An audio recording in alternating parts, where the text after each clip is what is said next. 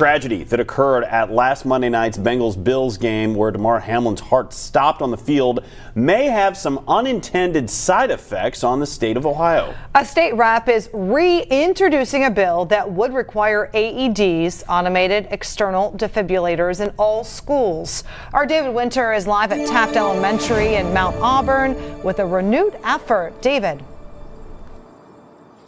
Megan, most schools in Ohio, Kentucky, and Indiana do have AEDs inside of them, but some don't, and it's not required by law. Now, there was a bill that was introduced last year in the Ohio legislature that would have required them, but it failed. Now that there's such a huge light shined on this issue of how AEDs can benefit people like Damar Hamlin, some believe that this bill may now have a shot and people keep asking what you know what they can do.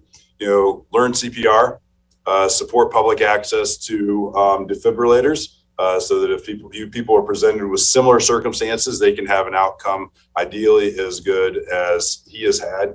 When Damar Hamlin's doctor said those words at a press conference Monday, they may have been heard loudest at the Ohio State House. We're going to call first on House Bill 426 for its first hearing.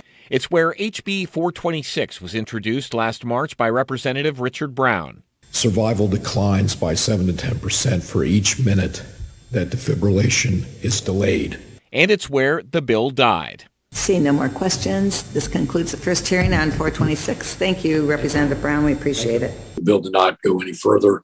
Uh, it did not make it out of committee. There was no second or third hearing, and the bill died.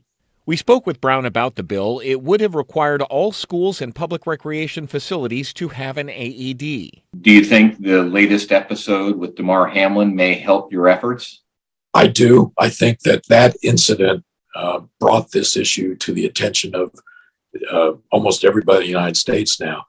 So Brown says he will reintroduce the bill this session, this time with a Republican joint sponsor, which he hopes will get it more traction. Either way, we asked whether the bill goes far enough.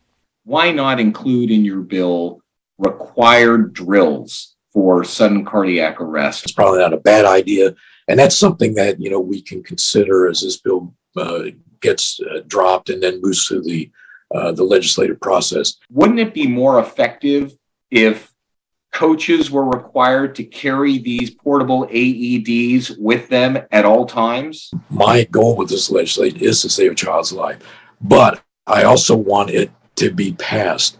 And if you try to bite off too big of a, a bite on something, it frequently doesn't pass the legislature.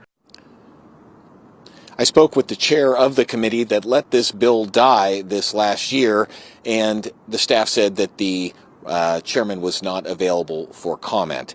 Now, I also spoke with vice chair of that committee, Adam Bird. He said that if this legislation were reintroduced, he would want to see it get a full set of hearings.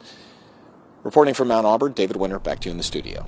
David, thank you. Representative Brown says the bill is currently being rewritten and he hopes to introduce it as soon as the House committee begins hearings again, and that hopefully will be later on this month.